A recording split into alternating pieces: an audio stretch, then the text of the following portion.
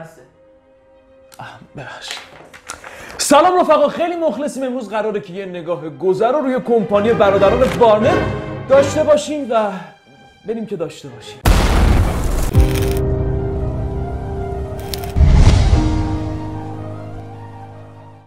به سینما سال خوش اومدید. بریم سراغ بحثمون.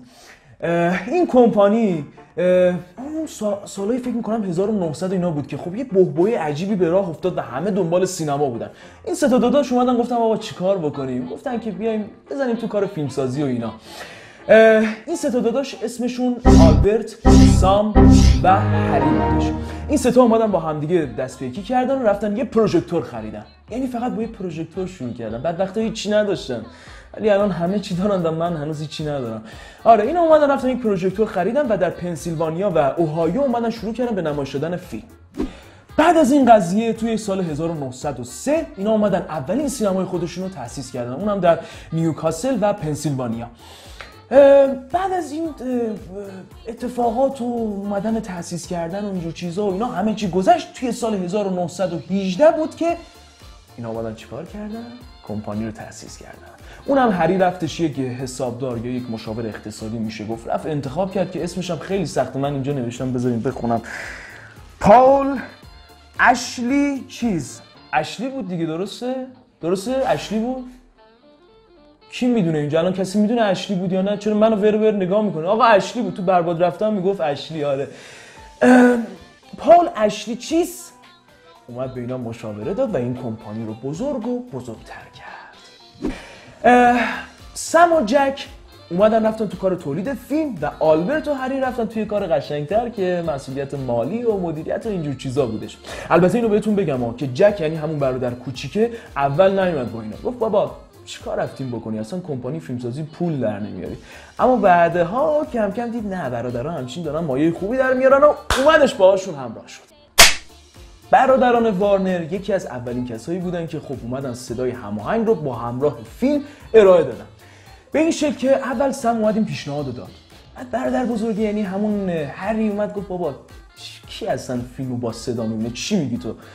این سه تا برادر کوچیک اینجوری کردن. گفتم نه این چی این برادر بزرگیه. بالاخره تعصب داره رو کارش و اینا. چرت و پرت زیاد میگه گفتم برو بابا به حرفش گوش ندادم اما در نهایت هری اومد و گفتش که آقا من در صورتی میام تو این قضیه.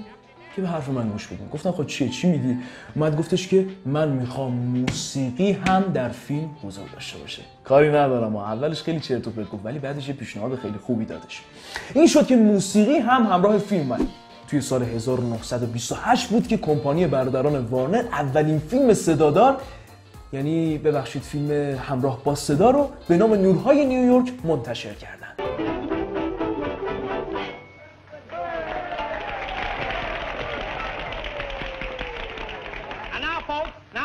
we're going to have the Dancing Pirate.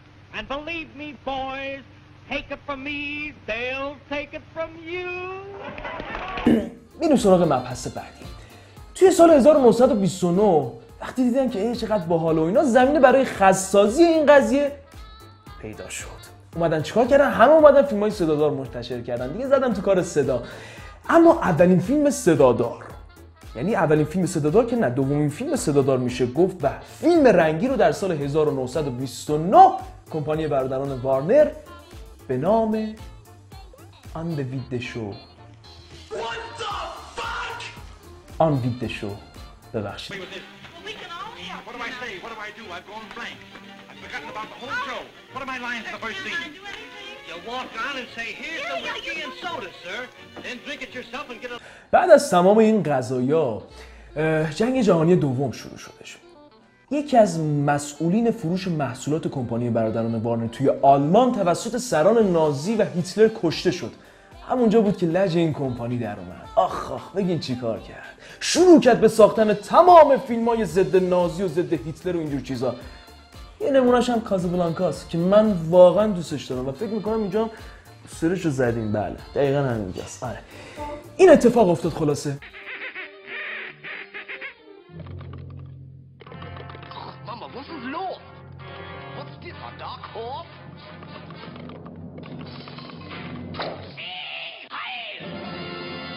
بعد از این جنگ جهانی دوم و اینا یه پدیده جدیدی اومد که خب دیگه مردم دوست نداشتن برن زیاد سینما. سعی می‌کردن که توی خونه بشینن و از اون استفاده کنن. و مطمئنا می‌دونید که اون چیه. تیوی یا تلویزیون؟ نه اینجوری خوب نیست. یکم بیا جلوتر. یکم جلوتر. محمد جان, جان. جلوتر نمیاد. خب بب نداره ام، با پایان جنگ جهانی دوم این کمپانی به درآمد ماهیانه ببخشید یعنی سالیانه 20 میلیون دلار چه خبرتونه؟ چه خبرتونه؟ البته بهتون بگم ها این اوضاع به همین شکل نبود یعنی این تلویزیونه که اومد کارو زد خراب کردش به طوری که خیلی از این کمپانیا رو به ورشکستگی رفتن و کمپانی وارنر هم از این قضیه مستثنا نبودش و اومد کمپانی رو به فروش گذاشت اون برادر کوچکی بود بهتون گفتم همون جکه آره که اول نیومدش و اینا حالا این آقا اومدش و به صورت پنهانی 90 درصد سهام این کمپانی رو واسه خودش خرید. و این حلی رو زد کنار و خودش اومد. رئیس شرکت شد. ببین همین این جکی خیلی خوب بود و 90 درصد این سامور خیلی بدم شد. ببخشید. این جک ما بعد از اینکه این حقش رو انجام داد گفت خب چیکار کنیم که این کمپانی پابرجا بمونه. رفت سراغ تلویزیون. فرمول قدیمی و موفق خودش وسترن. اگر بخوام تمام فیلم های منتشر شده توسط این کمپانی رو براتون بگم باید یک چند وقتی منو تحمل بکنید. پس بهتره که چند تا از اون نمونه هاشو بگم.